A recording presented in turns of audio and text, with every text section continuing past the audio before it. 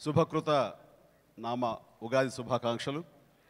ఈ స్టువర్ట్పురం సంబంధించినటువంటి టైగర్ నాగేశ్వరరావు కథ నేను ఈ పాండమిక్ ముందు వంశీ నాకు వినిపించాడు.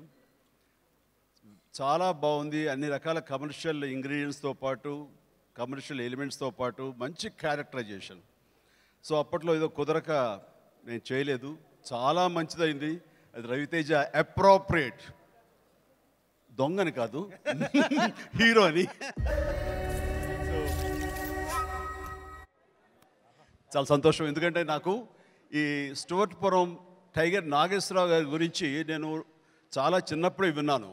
చీరాల పేరాల్లో మా నాన్నగారు ఉద్యోగం చేసేటప్పుడు పక్కనే ఉండే స్టువర్ట్పురంలో ఆయన గురించి చాలా హీరోయిక్గా చెప్తుండేవారు.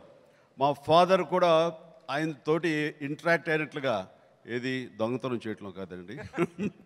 ఆ సమయంలో అక్కడ వాళ్ళందరూ కలిపి తను హీరోగా కొనియాడుతుంటే ఒక దొంగని హీరోగా కొనియాడతారేంటి అనే దీంతో అతను కొంచెం ఎంక్వైరీ చేసి ఆ కథని నాన్న తెలిసిన ఇన్సిడెంట్స్ని ఆయన ఎలాగా ఫినిష్ చేశారు ఎలా ఉంది అతని కథ ఏంటి అతని హీరోయిజం ఏంటి ఒక రాబిన్ హుడ్ లాగా అతను ఎలా ఉండేవాడు ఇవన్నీ కూడా చాలా చక్కగా నాన్నగారు చెప్తుంటే కనుక నేను వింటుండేవాడు నాకు ఆ రోజు నుంచి కూడా తెలుసు ఈ నాళ్ళ తర్వాత వంశీ దాని మీద ఒక చక్కటి కమర్షియల్ కథగా దాన్ని తీర్చిదిద్ది ఈ రోజున మా తమ్ముడు రవితేజ తోటి ఆ సినిమా చేయటం అన్నది నాకు చాలా ఆనందంగా ఉంది. ఇది శుభప్రదం.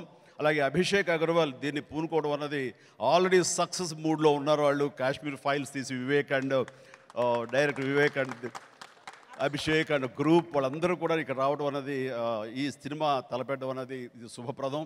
అండ్ ఈ కొత్త సంవత్సరంలో ఈ సినిమా చాలా త్వరితగతిన ఫినిష్ చేసుకుని కాశ్మీర్ ఫైల్స్ ఎంత పెద్ద హిట్ అయిందో అభిషేక్ అగర్వాల్కి అలాగే వంశీకి హీరోయిన్స్కి మా రవితేజకి అంత పెద్ద హిట్ జరగాలి మనస్ఫూర్తిగా కోరుకుంటున్నాను. Thank you very much and జై హింద్